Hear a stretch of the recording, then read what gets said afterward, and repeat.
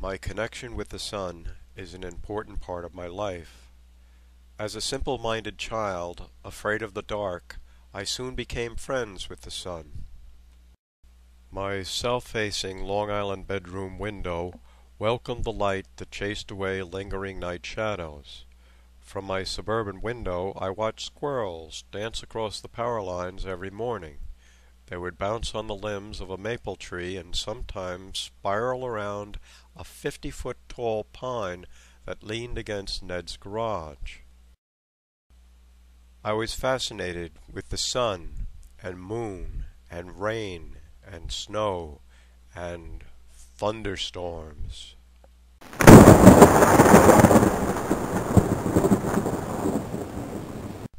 Garden City was and still is a magical place, but it's no longer a frontier for small business opportunities.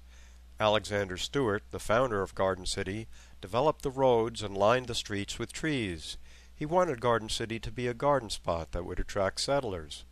But all I wanted to do was climb his planted trees, as well as every other tree of natural origin in the vacant lots.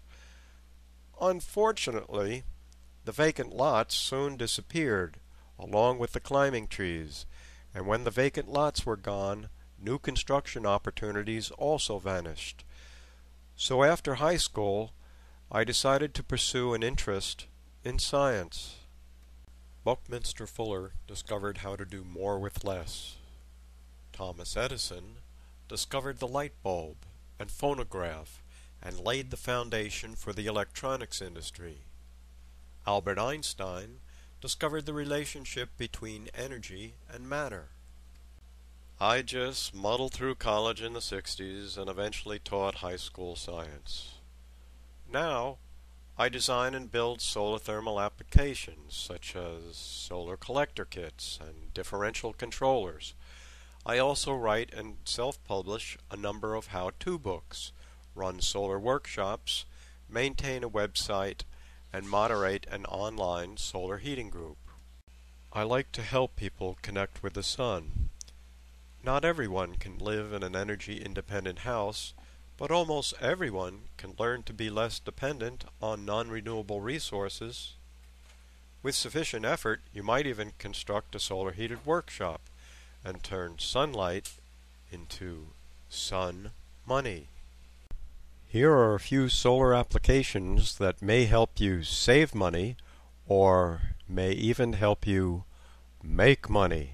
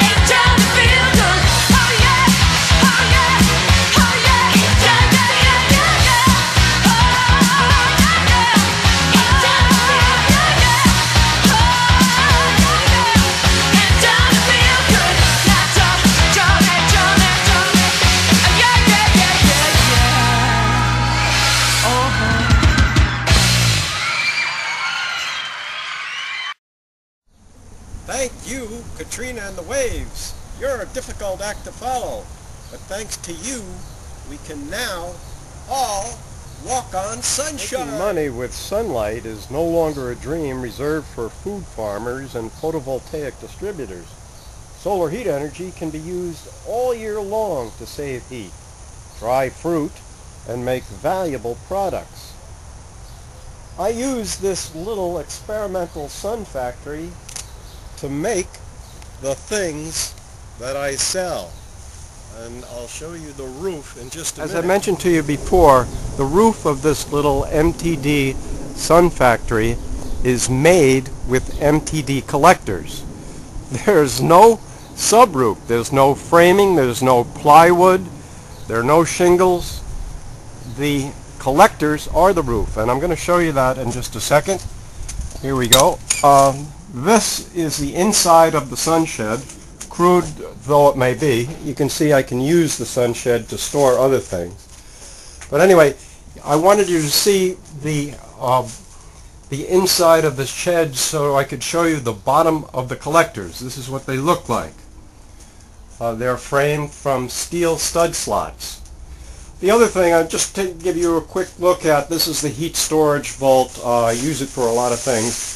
Uh, anyway, the temperature right now in the shed is 128 degrees inside the, uh, the drums. Uh, it's been a cloudy day all day, so we collected, we collected next to no heat today. But still, we have 130 degrees uh, so it's approximately a 200 gallon system. Not bad for a cute, crude little uh, storage system uh, with drums that uh, were given to me. Anyway, uh, solar energy does not have to be expensive. that's basically what I wanted to show you. Anyway, I just want to show you this. Like I said, they're 12 feet long, so we're walking down the length of it. They've been here for a while, so they're still fine. Very functional. They should last forever. Of course, I, I don't know. I've only been doing the experimental work on these MTD collectors for the last three years, so I don't really know how long they'll last, but they seem to be holding up pretty good. Anyway, that's all I wanted to show you. Thank you very much for your time. Good luck, and thank you again to uh, Katrina and the Waves for their beautiful song, Walking on Sunshine.